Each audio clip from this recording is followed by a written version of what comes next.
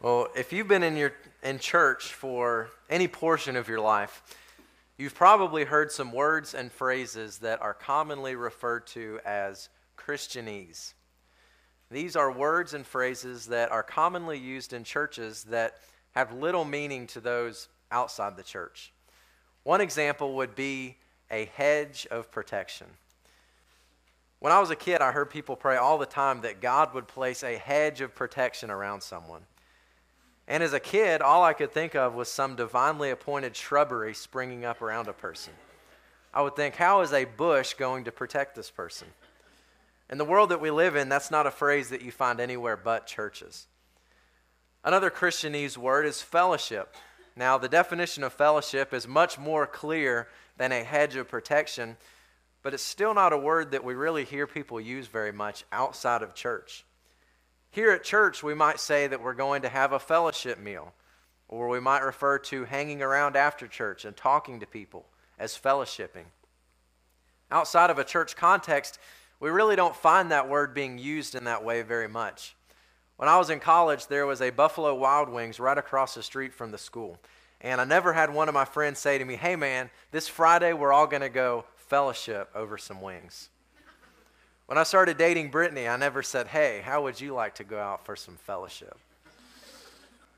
One last example of Christianese that came to my mind this week was words that we use to relate to the gospel or theology. In the increasingly secular culture that we live in, we can't just jump right into using Bible terminology and expect people to understand what we're talking about. Even in our area, we live in the Bible Belt, and you'd be surprised at how many people don't have an understanding of Bible terms. For instance, my parents were unsaved when I was born, and my mom told me a few years back about how when I was a little baby, my great grandmother was rocking me and singing, There is a fountain filled with blood. And my mom, who hadn't grown up in church and was unsaved, said that her first thought was, This woman is in a cult, and I need to get my baby away from her. We have to be very careful to make sure that when we use certain Bible terms, those around us, and just as importantly, we ourselves, understand what they mean. And as I was studying the verse of the Lord's Prayer that I'm going to be speaking to you about this morning, it occurred to me that it contains two phrases that we as Christians commonly use, but very often don't totally understand. And so today it is my prayer that at the end of this message, all of us would have a more clear understanding of just what Jesus meant when he gave this pattern for prayer. So we're going to turn our attention to God's Word, but first let's take a moment and pray. Father God, we thank you for your Word. Lord, thank you that it does work in our hearts to change us to be more like you. Lord, we thank you for the ways that we've already been able to worship you this morning. And Lord, as I preach your word, I pray that you would just help me to get out of the way and allow your spirit to speak through your word. God, I pray that you would use me in a way that I can't use myself. Lord, I pray that your word would speak to the hearts of everyone here and help us to know more about you and to be more like you. And I pray these things in Jesus' name. Amen. Well, today we're going to continue our series on the Lord's Prayer. And if you missed Pastor Doug's message last week introducing this series, I would encourage you to go back this week and listen to that message. Turn in your Bibles, if you're not already there, to Matthew chapter 6. Matthew chapter 6 and verse number 10 is where we're going to be today. Looking here in this passage, Jesus is giving an example of some principles to look to in our own prayer life. And here in Matthew chapter 6 and verse 10, Jesus says, Your kingdom come, your will be done on earth as it is in heaven. In this verse, we see two terms that are often used by Christians and are seldom clearly defined.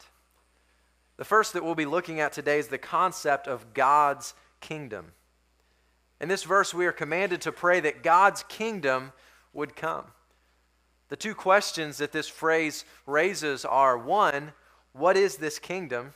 And number two, why should we pray that it will come?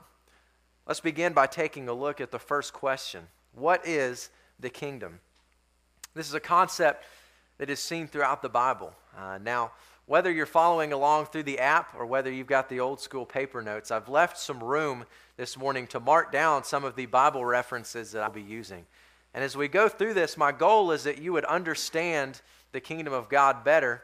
But my goal is not just that you would understand it better based on what I've said to you here today. Ultimately, everything that we believe must be based on the Word of God.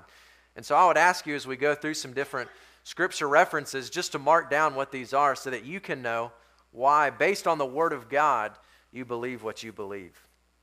So let's start in Genesis. At creation, God blessed Adam and Eve and told them to fill the earth, to subdue and rule over it. At the beginning of the world, God set in place a system whereby mankind would rule over the earth for the glory of God. As we also read in Genesis, Adam and Eve failed in that task as they sinned against God.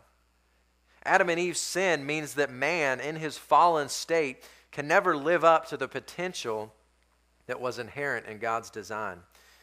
And so, throughout the Old Testament, we see God laying the groundwork to restore his kingdom on earth. In Genesis 12, God makes a covenant with Abraham that he is going to work through Abraham's lineage as a vehicle through which to bless the world. He also promises Abraham a land, an earthly kingdom that will be an example to the nations of his blessings. Later on in the Old Testament, God made a covenant with David in 2 Samuel chapter 10, in which he promised David that David's lineage would be used by God to establish his kingdom on earth. And in the Old Testament, the nation of Israel saw these covenants partially fulfilled in their midst, yet they turned away from God, and their earthly kingdom did not last. And yet, even in the midst of that, as the nation of Israel is turning away from God and rejecting his blessings, God promises in Ezekiel 36 that one day he will establish a kingdom in which he will give them new hearts and send his Holy Spirit to live in them. And the nation of Israel held on to these promises. And so, as Jesus appears on the scene hundreds of years later, there is a sense of great expectation among the people of Israel. God has promised to establish his kingdom on earth. And in doing that, he has promised to give to the nation of Israel a land to call their own and great spiritual blessings. If you were to ask someone who was alive at the time of Christ what was meant by God's kingdom, the answer that they would give you would likely revolve around the establishment of God's kingdom on earth and the fulfillment of his promises to his chosen people, Israel. And when you read the gospel accounts of Jesus' life and his early ministry, we find Jesus talking about God's kingdom as being very near. John the Baptist preached in Matthew 3 that the kingdom of heaven was at hand. Jesus himself in Matthew 10, 5 and 7 instructed his disciples to go exclusively to the people of Israel and announce to them that God's kingdom was at hand. Sadly, the people of Israel rejected the kingdom of God even as it was being offered to them. In Matthew chapter 12, verses 22 to 32, they even go so far as to attribute the works of Christ to the power of Satan.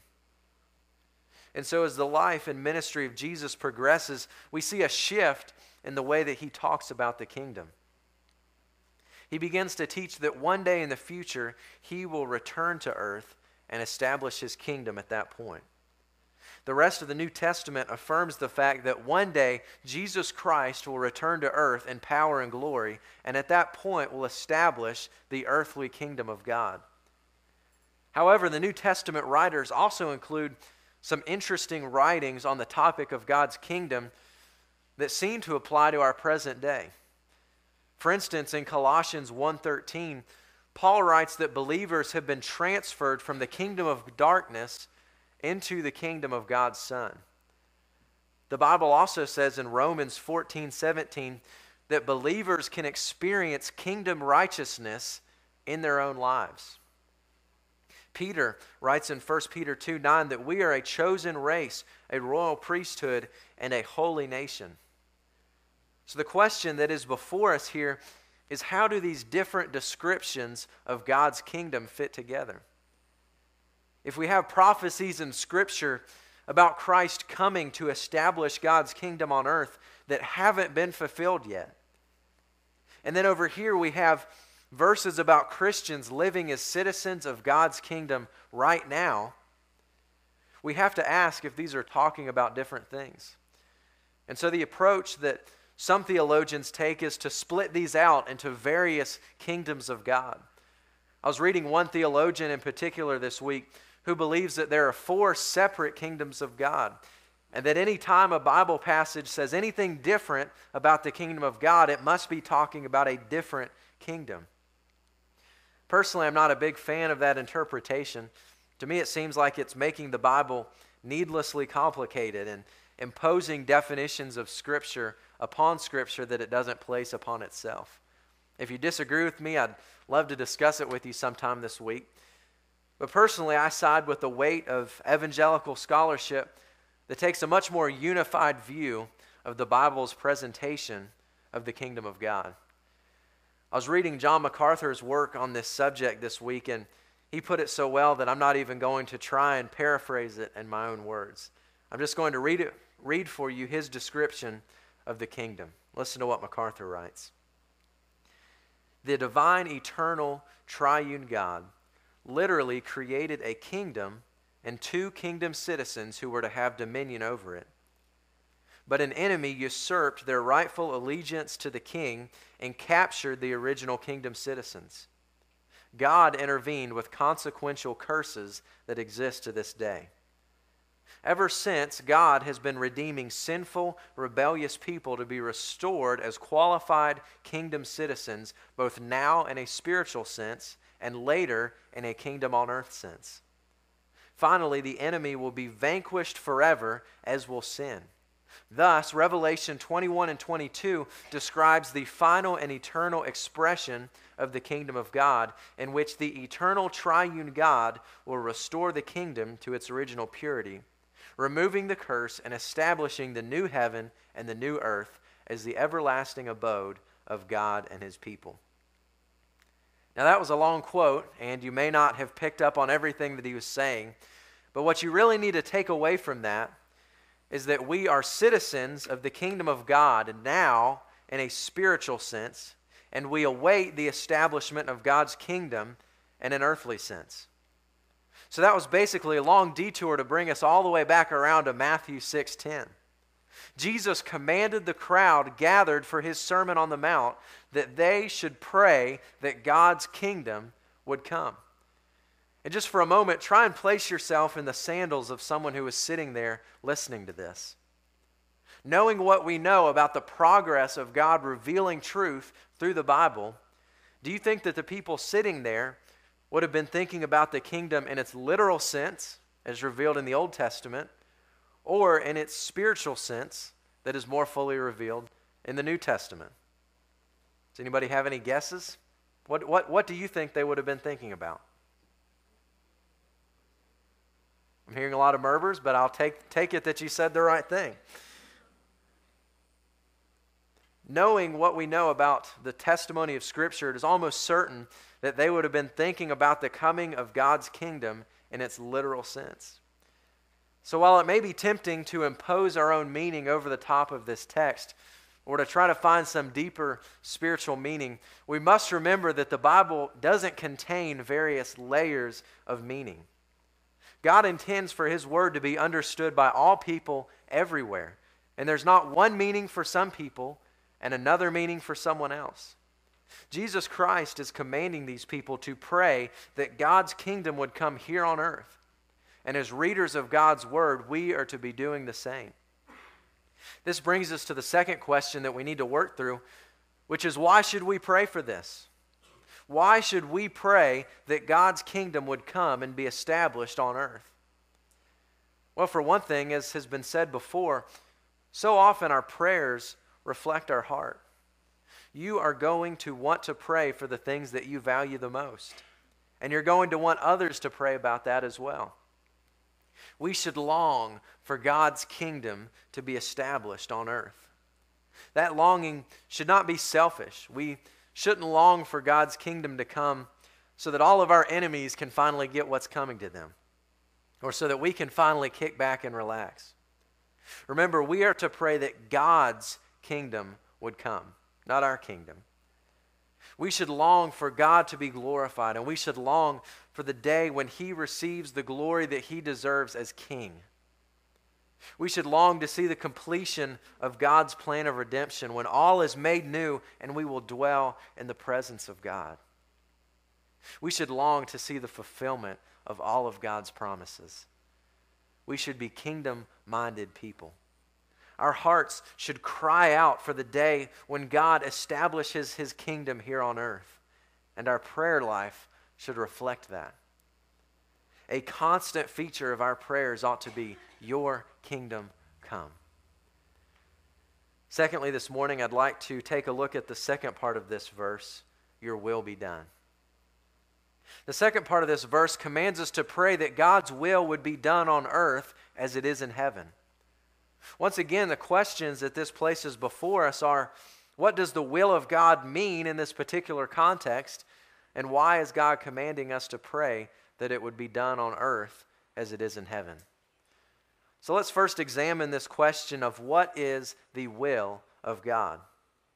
This can at times become one of those Christianese phrases that we use without really thinking about what it means. For instance, sometimes we use this phrase to try and place God's stamp of approval on our own plans.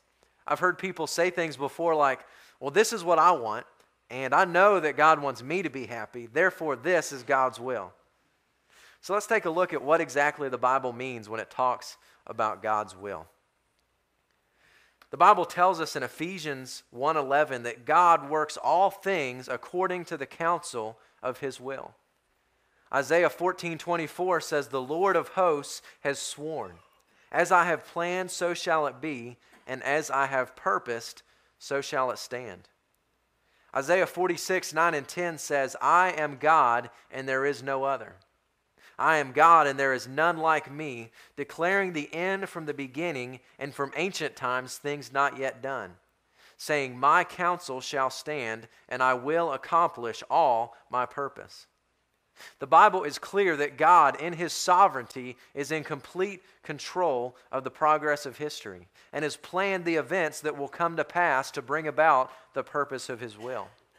We read in Philippians chapter 2 that the purpose of this is that all of history is building toward the moment when God, in the person of Jesus Christ, will receive the glory that he deserves. The purpose of history is the glory of God. And God can see the end from the beginning. He has a much broader perspective than we do. When we look at this, it's easy to say, well, if God is in control, then how does sin and evil happen? Does that fall outside of the will of God? And that is a question that could receive a sermon series of its own. But in the time that we have here, I'll just say to you that God can even use evil to accomplish his purposes. In Genesis 50 20, Joseph tells his brothers who had sold him into slavery that what they had meant for evil, God had meant for good. Proverbs 16:4 says the Lord has made everything for its purpose, even the wicked for the day of trouble. In Acts 2:23, the apostle Peter says that even the crucifixion of Jesus, which was an evil act committed by evil people, was according to the will of God. So the testimony of scripture is that there is a will of God, a sovereign decree of God that is going to come to pass no matter what. However, then you look at passages like the 10 commandments Let's take just one of the Ten Commandments. For instance, where God says that we are not to murder. This revelation that murder is evil actually goes back much farther than the Ten Commandments. God makes it very clear in the Bible that He is against taking the life of another human being. So, in light of that scripture, is it God's will for you to go and murder someone? Please shake your head no. Good. But do people still get murdered? Yes, sadly they do. Are those murders the will of God? The issue that we wrestle with as students of the Bible is that it seems like we either have to say that those murders were within the will of God, which goes against the Bible, or to say that those murders are outside of God's control. which also goes against the Bible. And so, the position that a great many theologians have come to is to say that there are times when the Bible talks about the will of God in a different sense than at other times. The main crux of this teaching is that there is what is sometimes called the moral will of God or the revealed will of God. This refers to the righteous nature of God that is revealed in the Bible and is seen in places like the Ten Commandments. And while it is not God's will that someone murder someone else, he doesn't forcefully impose his moral will upon mankind. This is where our free will as human beings comes into play. The other sense in which the Bible talks about God's will is what many theologians call the secret will of God. Personally, I don't really like that term because it makes it seem like God has something to hide. Perhaps a better way to think about it would be to call it God's plan for history. God has planned the progress of history, and what the future holds is yet to be revealed. God knows that, though, because He planned it in the first place. That's why some people call it God's secret will, because He knows the plan and we don't. And when it comes to the great comprehensive plan that God has for the universe, nothing is going to throw that plan off the rails. Everything that God wills is going to come to pass. And so, thinking about these two facets of God's will, his revealed will and his will that is yet to be revealed, which aspect of God's will do you think that Jesus is talking about in this verse? Well, the text of Scripture really doesn't demand that we specify one or the other. All that this says is that we should pray that God's will would be done here on earth as it is in heaven.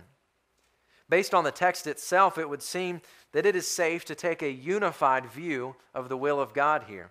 That we can look both at God's revealed will in the here and now and his sovereign decree for the future that is still at work. And it's interesting to me that Jesus pairs this with the prayer that God's kingdom would come.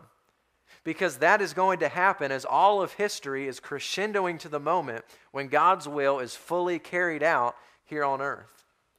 We can't see the end result of God's purposes from here, but we should long for the day when we can. We should earnestly pray that the day will soon come when God receives the glory that he is due. And at the same time, there is no clear indication in this text that this prayer has to only look forward. Jesus says that we should pray that God's will be done on earth as it is in heaven.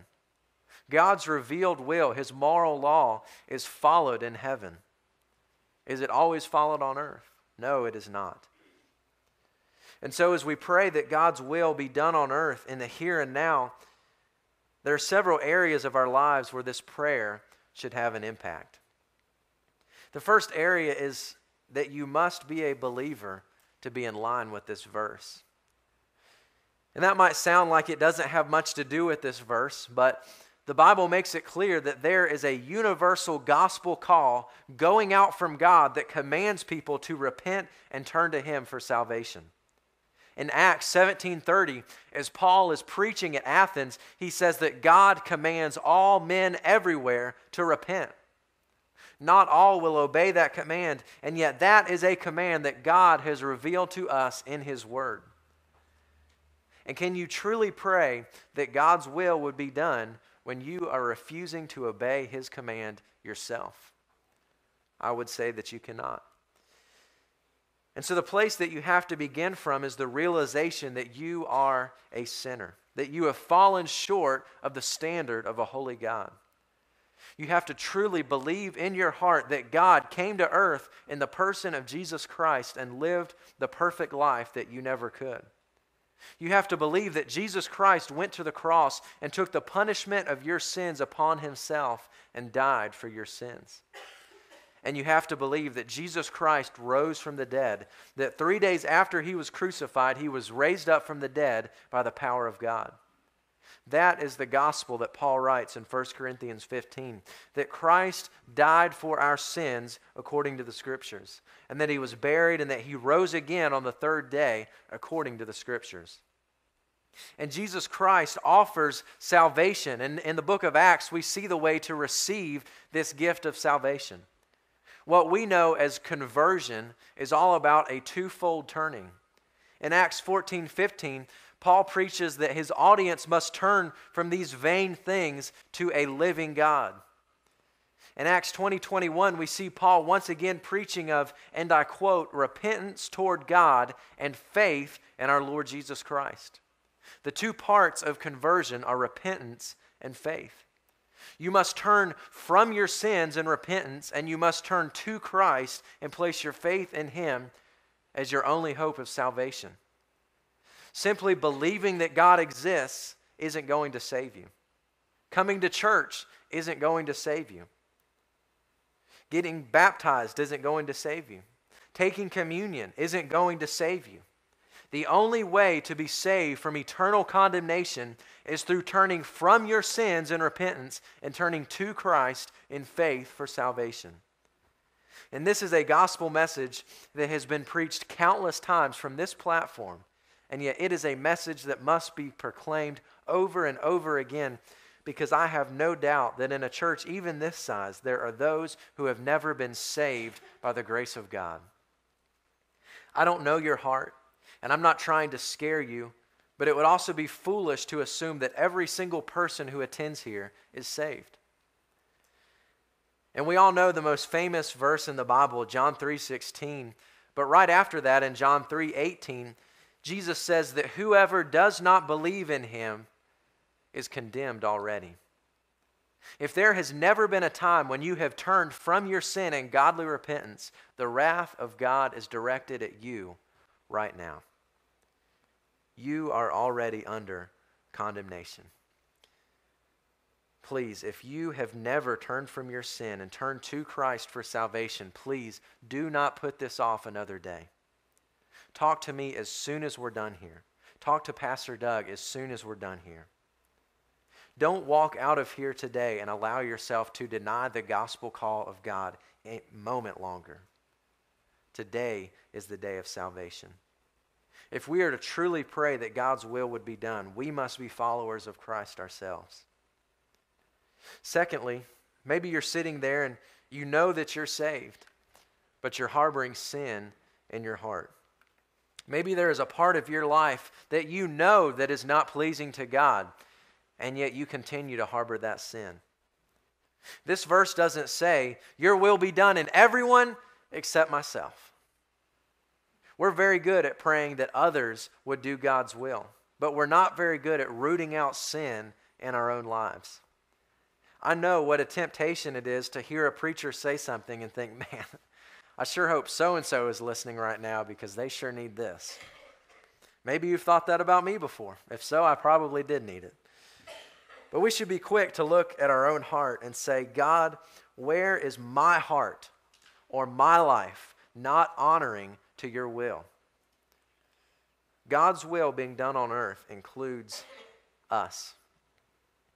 And the third point of application that we can make here is that this is God's will. We're good at praying that our will would be done. All too often, most of our prayer requests are centered around getting our own will to come to pass. How often do we look at a situation and pray simply that God's will would be done? Not our own, but God's. I've seen an incredible example of this in the past couple of weeks in the life of two people that Brittany and I went to school with. This couple is expecting their second child, and a couple of weeks ago, they had an ultrasound, and the doctor discovered that one side of their baby's heart is severely deformed. It isn't going to be capable of pumping blood through this baby's body like it should. And this guy that we went to school with posted on Facebook last week that the doctor told them that there is a very slim chance that their baby will survive. He said that doing surgery would be extremely dangerous and even if by a miracle this child lives and makes it to adulthood, they're going to need a heart transplant. And he said that even as they were looking at this ultrasound, as they were watching their little child move around with their arms and legs and little fingers and toes, the doctor was pressuring them to have an abortion, to end the life of this child. Well, they obviously refused, and they are praying desperately for this child. But at the end of this post, they said that they obviously are praying that God will allow their child to live. But their biggest desire is just that God's will would be done and that He would be glorified. They said, We obviously desperately want our child to survive, but they said, even if God's will is not that our child survive, we just want God's will to be done, and we pray that even through that, He would be glorified. I have to be honest with you, if I were in that situation, I don't know that I would have the faith to pray that. And yet, these two people are living examples of what it means to pray that God's will would be done. Not their will, but God's will. And this brings together the two halves of this verse. When Jesus said to pray, Your kingdom come, the word that he used in the Greek carries the sense of kingship or of power. We ought to pray that the kingship of God would be established and carried out here on earth, both now and in the future. We ought to be kingdom minded people who long for the coming of our King here on earth and in the meantime live as kingdom citizens in the here and now. We ought to pray that God's will would be done in every aspect of our world. And that prayer must begin with our own heart. As you go throughout your life this week, take some time to pray that God's kingdom would come and that His will would be done. And there's no time like the present to start doing that. So I'm going to give you just a moment to take this request before our Father, and then I'll close us. Just there in your seat where you're sitting, let's all bow our heads and approach the throne together to ask the Lord that His kingdom would come and His will would be done on earth as it is in heaven. Let's pray.